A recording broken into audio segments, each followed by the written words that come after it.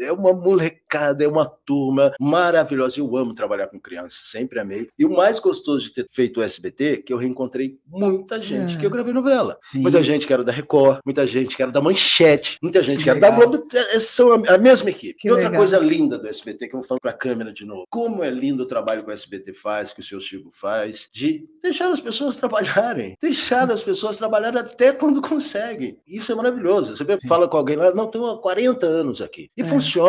E, no, e se não funcionar, os jovens estão aqui para fazer funcionar. Eu falo isso. A Grazi, minha assessora, ela é geração Z. E aí, às vezes, eu faço uma bobagem e ainda brinco com ela. Falo, mas você é geração Z, velho. Eu sou velho, resolve aí. E ela já me entende e ri. Mas é.